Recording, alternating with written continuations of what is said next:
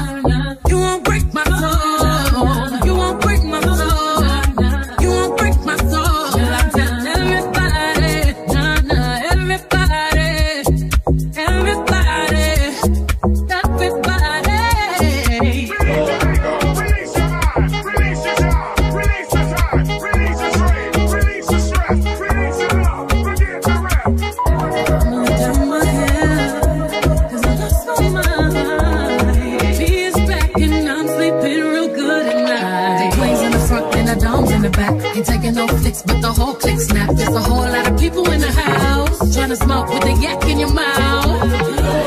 And you back outside. You said you outside, but you ain't that outside. Worldwide hoodie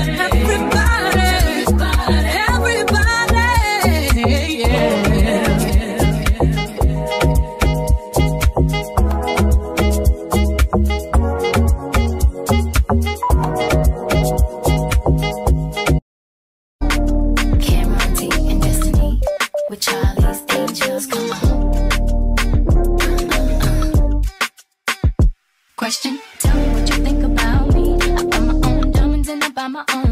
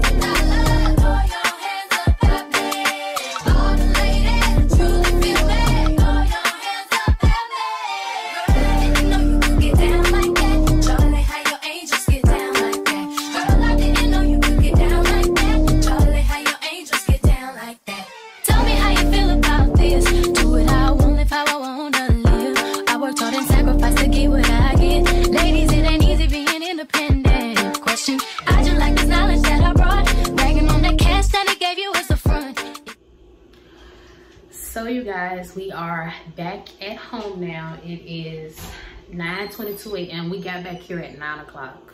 Y'all, it has been an eventful morning, an emotional morning.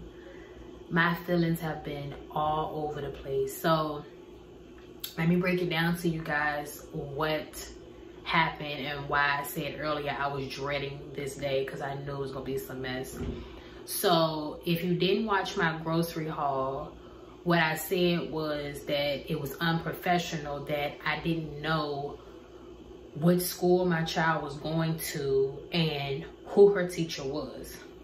I had been calling, calling, calling, calling, calling. Nobody was answering the phone. So I kept trying to call this morning so that way I wouldn't have to make a trip to two different schools.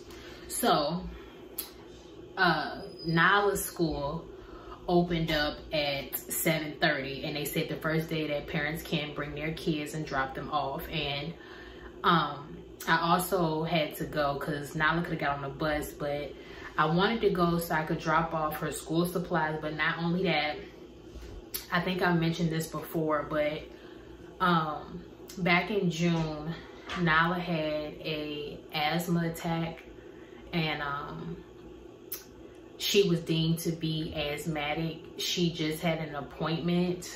What day was that? Thursday last week. She had an appointment and the doctor decided that she needed to take an everyday inhaler because her airways are tight.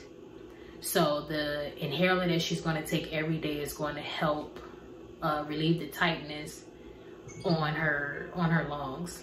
But anyway, I had to go so I could drop off the asthma plant and her inhaler and the uh, what is it called? The spacer that goes with the inhaler because you know kids don't know how to you know you know shake it, squeeze it. You know they just put it in their mouth, they'll choke on it. So I had to go drop that off. So you guys, when I got there, I asked the lady that was there and I told her everything that was going on.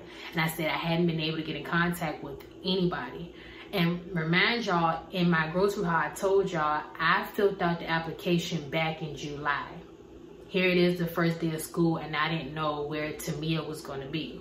So the lady said, I'm going to reach out to them right now for you. You can go ahead and take your daughter to class. And before you leave, I'll let you know or whatever. So before we even got to get into Nylah's classroom or whatever, the lady came back to me and said the other school has her and they told me to just bring her there. So Tamia goes to a, another school that has a strictly preschool program. I believe they can start as early as three. So what that means is, so both the kids have to be at school at the same time. School starts at 7.45. Luckily, Nylah can get on the bus, which her bus comes at like about between 7.15 and 7.20. So I can get Nylah on the bus, hop in the car and drop Tamia off at preschool because Tamia gets out of school at 1.45. She's in preschool. Nylah gets out of school at 2.45. So,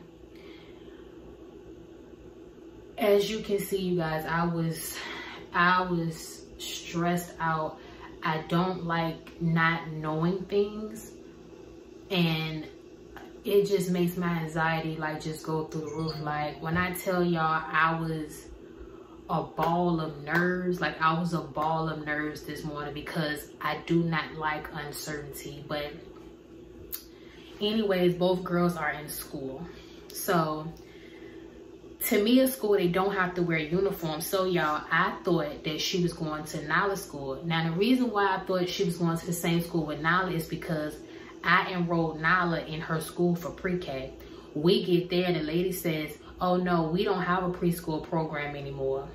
Not since COVID. And that's when Nylah started school. She started school during the pandemic, 2020. So my thing is, why do you still have it on the website? And why are you still letting parents apply for pre-K if you don't have a pre-K program? You know what I'm saying? Like, that's the part that it's just so unprofessional. Now, we drop Nylah off we go to Tamia school. Y'all, it school started 7.45, y'all. We getting there at 8.30. We pulling up at 8.30 because it took so long being at Nylah school because I had to get her to her class. We met her teacher. Her teacher seems like she is an awesome lady and I'm so happy about that. But not only that, I had to drop off her asthma plan and her inhaler. So we get to Tamia's school. We get to the office and I'm like, they're like, um, who you looking, who, what's your child name or whatever. And I said Tamia and I said her last name. So she on a computer searching, searching. Y'all, I think we stood there for about 10 minutes because somebody else kept throwing her train of thought off. And I'm like, Kiara, it makes sense. This is why nobody answered the phone and nobody got back to you because they having a hard time just trying to figure out what classroom these kids are in. So I said, you know what? Y'all, I'm not, I am not a rude person and I'm not, you know, I'm not confrontational, but y'all, y'all, I went to work last night. This is day five. Well, yesterday was day five. It's day six. I have to go to work tonight. Y'all, I got off. I've been up since 9.50 last night, y'all. It's 9.28. That's 12 hours, y'all. I have not been to sleep yet. I have not been to sleep yet. And I've been running all over the city trying to make sure that my kids were straight. And not only that, you guys, I'm gonna have to do a whole routine video for y'all because they don't have a bus that comes and picks Tamia up because that school is not in our school zone. Granted, it's not that far from where we live, but it's not in our school zone. So you know what that means? I'm gonna have to work strictly night shift because at first I was pulling doubles. I work half the night, work half the morning. No, so I'm to have to get up, get my kids ready for school, come home, try to film because I am doing content on YouTube and on TikTok. Film content, edit it, try to go to sleep for at least an hour or two. Go pick Tamia up. Make sure I'm back at home to get Nylah off the bus. Come in the house, make dinner, get dressed, and go back to work for a 10 hour shift.